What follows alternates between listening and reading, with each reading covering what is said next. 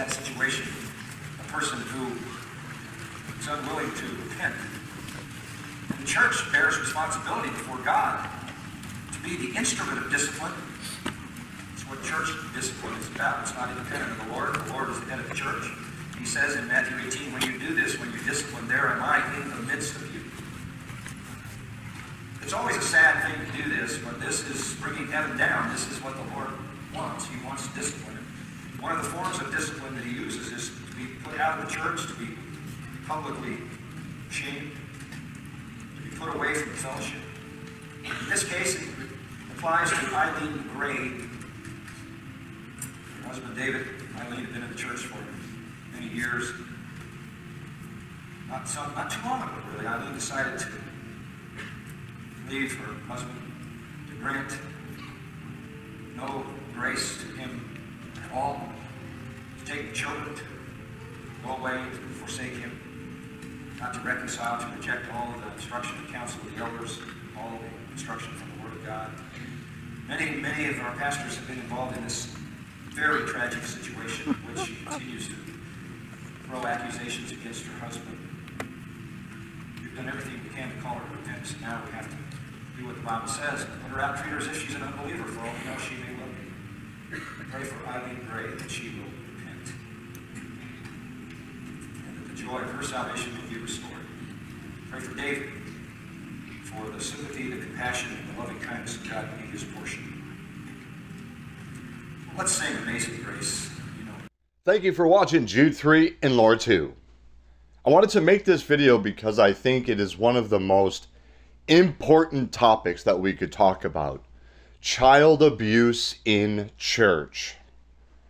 I received some information last night that's factual, it's been researched, it's been found out that at Grace Community Church, that is to say, John MacArthur's church, John MacArthur is a leading Calvinist. He's one of the leading Calvinists, and this leading Calvinist decided to walk on the stage of his church, excommunicate one of the members whose name is Emily, tell everybody at the church, and John MacArthur has a very large church. It's a mega church. He had decided to let everybody know that this woman, Emily, is living in sin she needs to be put to shame. And then he excommunicated her. You know what she was doing that was so sinful? She wanted to divorce her husband. So she needed to be put to shame because she wanted to divorce her husband. But wait, you're saying. The Bible says that divorce is wrong. So why are you speaking out against John MacArthur? Well, I could agree if she was just, you know, I just like this other guy, I'd prefer to be with him, I'm out of here. Oh, I wouldn't like that either, and I would call that wrong. But did you know Emily? You know what her sin was? You know why she was trying to divorce her husband David, who's now in prison for 21 years? Because he was abusing her and her children. He's a child abuser. He abused other children. He got caught. He went to prison. He'll be there for 21 years. And she is living in sin, according to the elders at this Calvinistic Grace Community Church. She's the one who's living in sin, according to John MacArthur. She's the one who needs to be put to shame publicly in front of the whole church and for what? For wanting a divorce from a man that was abusing her, her children, and other children. And it was true. It wasn't a lie. And why didn't we call the police? Well, it wouldn't make the church look very good. Huh. Where have I heard that before? Watchtower? Where have I heard that before? Priests of the Catholic Church? This is heartbreaking. I'm a Sunday school teacher, my wife and I. And we love every one of these little boys and girls that come to our class. We love them. The parents know us. We know them. It's a safe environment. Laura and I are always in that room together, uh, together, never alone, never. And why? Because stuff like this happens. Accusations happen. People don't always have, if you will, a second witness, and we don't know what's going to happen. And so, to protect the child first, first, we protect the child. And then to protect the person from possibly a false allegation.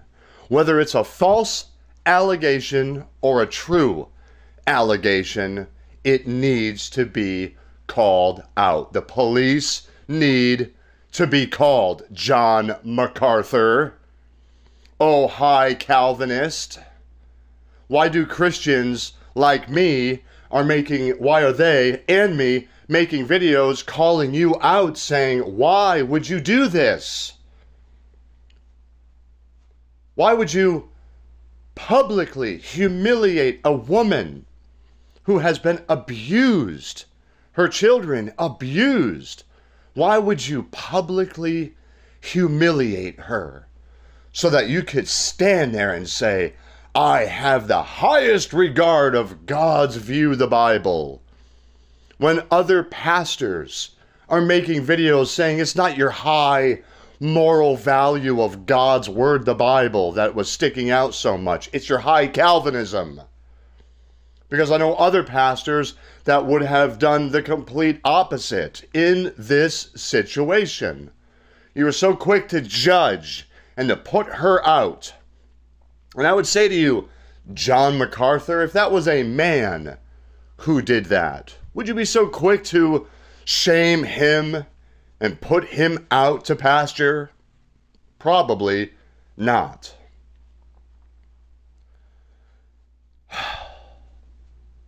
It's depressing. I don't know about you. I don't know how you feel about all these things. The one who's listening to this video right now, listening to me rant, so upset and so taken aback that grown men this is what Mikey and I have been talking about. How could grown men stand there and tell you, I love Jesus, and then act the way they do? I'm going to shame this woman who was abused with her children, and you're going to put her out? How could you say you love Jesus and act the way you do? I know people who don't live by the book who don't have the book, the Bible, and they live more by the book than those so called people who hold the book.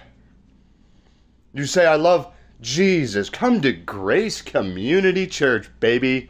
We are a wonderful, welcoming, loving church. And I'm not saying that all the people there are this way. They probably are very nice and loving. But the kids clearly are not safe because these people are going to cover their asses before they speak up and say what you did to this child is wrong. It's child abuse. The man's in prison for 21 years now. You want to protect this guy? And then out of the other side of your mouth, I just love Jesus. I can't imagine why people are becoming atheists. I just can't figure it out. It's so confusing. It's not. Your God is an abuser. You say, Come to Jesus, the little child comes, and then you abuse that child. What does the child think of Jesus? Do you care at all? about Jesus or just your reputation? Is it just the John MacArthur, Ravi Zacharias? Ooh, ooh, maybe Voddie Baucham could have something to say on this issue. Who cares about Voddie Baucham, John Piper, James White, John MacArthur, John Calvin, or any of it? When children aren't safe to just come and to sing little Christian songs like me and my wife do with the children at our church. We have like procedure on top of procedure. I'm never alone with any kid, ever. I wouldn't want to be. For what purpose?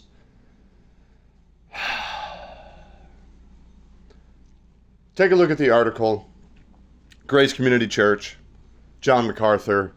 He, John MacArthur, was not the abuser, but unfortunately, because of his actions in allowing this to go on, not calling the police, and for telling a woman, this beautiful woman with her children, because he decided to tell her, You are living in sin.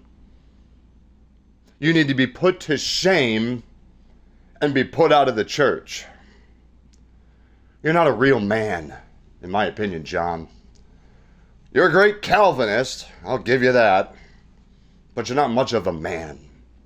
You want to shame a woman. And then at the end, you praised David the guy that's in prison. You said, May God show him grace and love him. And then you sang Amazing Grace. How dare you do this to the church? How dare you give the body of Christ a black eye because we wouldn't want to make you look bad? Well, I don't really give a rat's rear end. You are I'm going to leave things at that. I don't really want to continue anymore because I'm not so sure anything productive is going to come out of my mouth. Grace Community Church, John MacArthur. I'll try to find the link to Emily's story. I'll put it in here. Tell me what you think about all this, guys. I love you. Protect your children. Call the cops. Call the cops. Call the police call people that can help you if you're not sure. You could call Kim and Mikey. You could call Laura and I. You could call people in the community that are going to not just tell you to go buy a book, just keep watching my videos. No, we're going to point you and give you the direction that you need to get real help. So please, call the police on people that are abusing children. And if you've been abused, our heart is here for you and we love you. Reach out. Reach out to someone that you know is trusted and that can help you. God bless everybody. Have a great day. And thank you for watching Jude 3 and Laura 2.